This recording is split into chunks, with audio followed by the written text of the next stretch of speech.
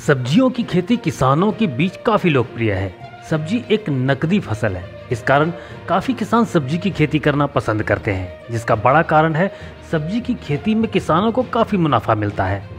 सब्ज़ी एक ऐसी फ़सल है जिसे किसान सीधे उपभोक्ताओं को बेचकर काफ़ी अच्छी इनकम प्राप्त कर सकते हैं। लेकिन अगर सही और अच्छे रेट में बिकने वाली सब्जियों की खेती की जाए तो इससे ज़्यादा मुनाफा कमाया जा सकता है। सितंबर के महीने में कई ऐसी सब्जियों की खेती की जा सकती है, जिसे अच्छे रेट मिलते हैं। तो आइए, आज हम आपको बताते हैं पाँच ऐसी सब्ज़ियाँ जिसे उगाकर आप सितंबर के महीने में अच्छा मुनाफा कमा सकते हैं। पहले नंबर पर आती है ब्रोकली। गोभी की तरह दिखने वाली इस सब्ज़ी की भारतीय मार्केट में काफ़ी ज़्यादा डिमांड है। इसे हरी गोभी भी कहा जाता है। ब्रोकली पोषक तत्वों, कैल्शियम और आयरन से भरपूर होती हैं। सेहत के लिए काफ़ी अच्छी और फ़ायदेमंद होती हैं। ये सब्ज़ी मार्केट में 50 से 100 रुपए किलो के भाव में बिकती है। 60 से 90 दिनों में फ़सल तैयार हो जाती है। दूसरे नंबर पर आता है बैगन।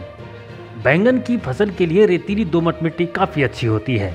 अच्छे जल निकास वाली मिट्टी इस खेती के लिए काफ़ी उपयुक्त मानी जाती है और अच्छी पैदावार देती है। 60 से 100 दिनों में इस फ़सल की पैदावार प्राप्त हो जाती है। सितंबर में बैगन की खेती कर किसान अच्छी कमाई कर सकते हैं। तीसरे नंबर पर आती है हरी मिर्च। रबी में हरी मिर्च की बुआई का समय 9 सितंबर से 31 नवंबर के बीच होता है। फ़सल 60 से 70 दिन में पक जाती है। हरी मिर्च की खेती में 15 से 35 डिग्री तक तापमान उचित माना जाता है। इसकी खेती लगभग सभी प्रकार की मिट्टियों में की जाती है। 60 से पैंसठ दिनों बाद फ़सल की तुड़ाई शुरू की जा सकती है।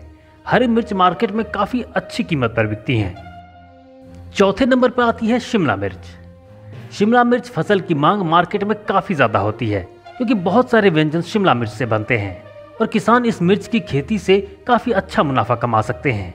ये एक समशीतोष्ण जलवायु की फ़सल है। हमारे देश में सर्दियों में तापमान लगभग 10 डिग्री सेल्सियस के नीचे हो जाता है। शिमला मिर्च पर ठंड का असर कम होता है। यही वजह है कि इसकी फ़सल साल भर ली जा सकती है। गर्मी में इस फ़सल का विकास तेज हो जाता है। रेतीली दोमट मिट्टी इस फ़सल के लिए बेहद उपयुक्त है। पाँचवें नंबर पर आता है गाजर। सर्दी के मौसम के आने के साथ ही गाजर की डिमांड मार्केट में बढ़ जाती है। सितंबर माह में गाजर की बुआई की जाती है। सितंबर में बुआई के साथ दिसंबर के अंतिम सप्ताह तक गाजर की फ़सल का उत्पादन ले सकते हैं। तीन से चार महीनों में इन फ़सलों का उत्पादन ले सकते हैं। इस खेती से अच्छी खासी कमाई कर सकते हैं आप। किसी और नई अपडेट के साथ आपसे फिर मिलेंगे। तब तक दीजिए इजाज़त। नमस्ते।